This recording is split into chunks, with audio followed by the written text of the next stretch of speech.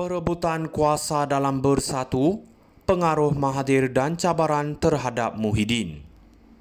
Dalam pergelutan dalaman Parti Pribumi Bersatu Malaysia PPBM, kekalahan memalukan dalam pilihan raya kecil PRK Dun Makota telah membuka jalan kepada konspirasi untuk menjatuhkan Muhyiddin Yassin dari kerusi presiden.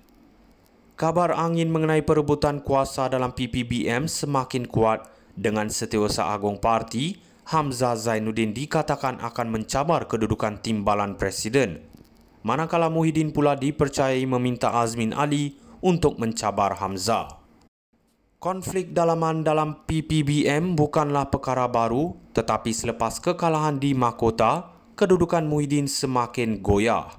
Dalam parti tersebut, kem yang menyokong Hamzah semakin berkembang dengan sokongan daripada beberapa pemimpin manakala Muhyiddin bergantung kepada Azmin, Ahmad Faizal Azmu Peja dan Radzi Jidin. Peja dikatakan mempunyai agenda sendiri kerana disebabkan Hamzah. Beliau pernah dikambing hitamkan dalam parti. Apa yang lebih menarik adalah sokongan yang Hamzah peroleh daripada kumpulan yang berada di luar PPBM termasuk beberapa pemimpin dari keluarga Malaysia yang mendapat sokongan kuat daripada mantan Perdana Menteri Dr. Mahathir Mohamad.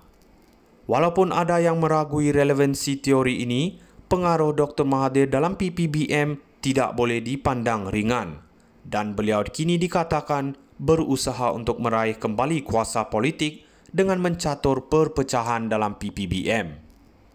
Ronald Kiandi, seorang pemimpin yang menjadi rebutan di antara kedua-dua kem Muhyiddin dan Hamzah, dilihat sebagai tokoh penting dalam perebutan ini. Kedua-dua kem sedang berusaha keras untuk memenangi sokongannya menjadikan satu watak utama dalam permainan kuasa ini. Agenda Dr. Mahathir lebih besar daripada perebutan kuasa dalam PPBM. Beliau dikatakan mempunyai hasrat untuk menumbangkan kerajaan pimpinan Anwar Ibrahim dengan cara menyatukan kuasa antara PPBM, AMNO dan PAS. Ketua Penerangan PPBM Razali Idris juga secara terbuka mencabar Anwar untuk membubarkan parlimen bagi membolehkan pilihan raya umum ke-16 diadakan. Menurut sumber, Dr. Mahathir yakin bahawa sekiranya pilihan raya diadakan, kerajaan sekarang akan tumbang. Ini berasaskan kenyataan ahli Parlimen PAS, Muhammad Mishabul Munir Matsuki yang mengatakan bahawa PAS bersedia untuk menolak PPBM dan bekerjasama dengan AMNO. Sekiranya Hamzah berjaya memimpin PPBM dan kerjasama antara AMNO dan PAS terbentuk, Dr. Mahathir percaya strategi politiknya akan berjaya. Dalam masa yang sama, keluarga Malaysia dikatakan memainkan peranan utama dalam mencatur strategi politik ini. Kumpulan ini dikatakan mempunyai dua matlamat utama menguasai PPBM di bawah kepimpinan Hamzah dan pada masa yang sama berusaha menjatuhkan Zaid Hamidi di AMNO. Dr. Mahathir yang kini berperanan sebagai penasihat ekonomi kepada SG4 dikatakan cuba memperkukuhkan pengaruhnya dalam PAS. Dengan sokongan politik yang tersebar luas dan pengaruh yang terus kukuh, Dr. Mahathir telah menyatakan keyakinannya bahawa walaupun kerajaan mempunyai majoriti 2 per 3, ia masih boleh jatuh pada bila-bila masa.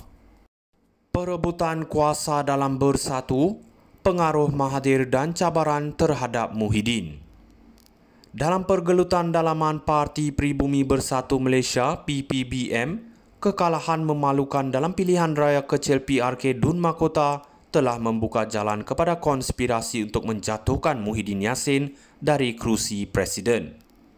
Kabar angin mengenai perebutan kuasa dalam PPBM semakin kuat dengan Setiausaha Agong Parti Hamzah Zainuddin dikatakan akan mencabar kedudukan timbalan presiden. Manakala Muhyiddin pula dipercayai meminta Azmin Ali untuk mencabar Hamzah.